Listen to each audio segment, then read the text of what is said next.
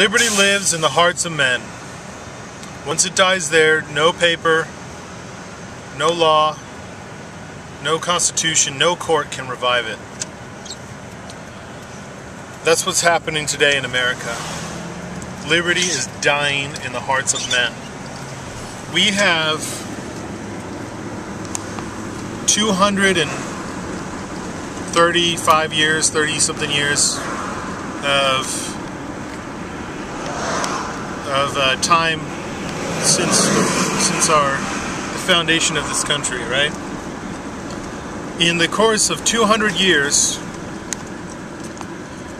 or actually less even, I mean, if you really want to trace it back to when we started losing our liberties, it didn't take long for us to do that. And the problem today is that we have, we've lost, most men have lost that desire for liberty. They've lost it, and it's not in their heart anymore. And you see the, what are, what, what do the people want? What do, what do most of the people want around you? when you look around. They want their their Medicare. They want their Social Security. They want all of these programs that have been put into place by the federal government that are illegal. Illegal. They're not allowed to to um, um, put these programs in place. Yet they ignore our Constitution. They ignore the limits on their office, and they they place these laws anyway. So the question is, you know, how long are you will you continue to allow this before you do something about it? Because you know, if you're not part of the solution, well, then you're part of the problem. Uh, okay, because if you're if you're just indifferent on the matter, then you're not you're not helping anything. You're part of the problem your indifference is is is just is to be honest close to treasonous. Um, I mean, those who are who actively work against liberty, honestly, are are traitors to this nation, traitors to liberty, and, and traitors to America, to the American ideal. So, um, I mean. I'd like to. I would just, you know, what I want to say is that that we are, we need to revive a love of liberty, a love of freedom into people's hearts, and and for them to realize how important it is. It's not just it's not just something that we've lost and, and stuff. It's it's that we are actually wearing chains we, I mean, not literally wearing chains, but we figuratively wear chains. And, you know, financially we're chained. Um, but we, we're literally slaves to the banks and to the government. It's in different ways. But, you know, we don't live as free men anymore in this country. And it makes me wonder how much more will you tolerate before you say, how can I how can I, what can I do? I'm just one man, Hoss. Well, I don't know who you are, so I can't tell you what you can do. But I can tell you that we all are sovereign men and women of this country, and we all can do something. There's all, all of us can contribute in one way or another to solving this issue, to, to, to return to a love of freedom and liberty. Um, I can't tell you exactly how you can do it, only you can do that.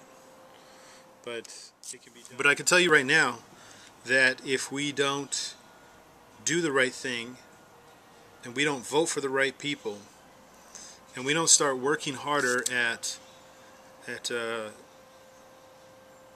at creating um, a situation that that where we are working more towards to to to restore um, our constitutional liberties, then the time um, where we vote with these will be coming to an end. And I'd like to say that I'd like to remind you all that we still vote with one of these. So we need to continue to pursue that process until it's been exhausted because as lovers of liberty we should be um, I think people that want to respect the our, the processes that are set before us. Um, and those processes are, are outlined in in our document. The next few months and years are critical um, as to the fate of our nation. And in that in those months and years that are that are coming up there's a lot of decisions that we're going to have to make involving um, different uh, political processes and that our leaders will be making that are very important that you are involved in those processes as much as possible and we should always as uh, sovereigns of the republic be participating in in politics, but these next few years are particularly important. We need to change our mindsets um, from being uh, the kind of passive, uh, you know, just sit down and, and kind of watch and see what happens and vote whenever it comes up type of thing. Those times are over.